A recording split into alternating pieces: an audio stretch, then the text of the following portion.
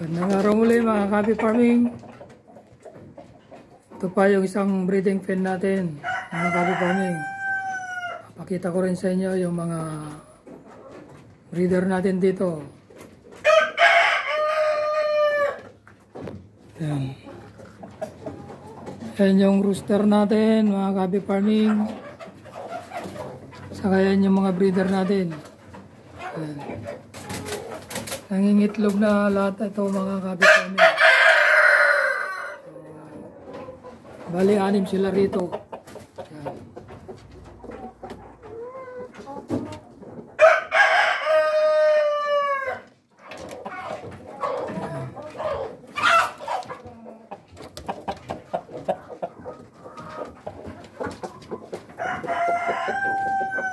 Ayan, mga breeder natin, mga copy farming.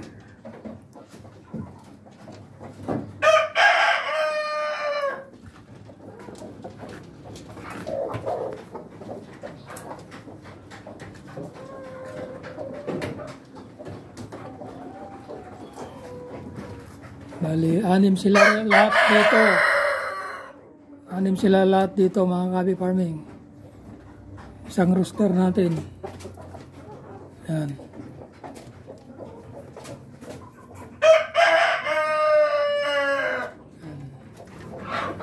Yan yung pugad nila sa dalawa, tatlo, apat. So,